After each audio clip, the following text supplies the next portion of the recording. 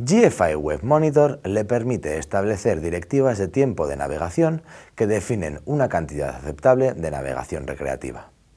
Esta función ayuda a encontrar el justo equilibrio entre la potencial pérdida de productividad y el bloqueo absoluto del sitio web que puede suponer el descontento de los empleados.